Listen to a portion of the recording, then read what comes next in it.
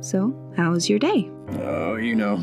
I have something to share. When is this, my birthday? We're having a baby.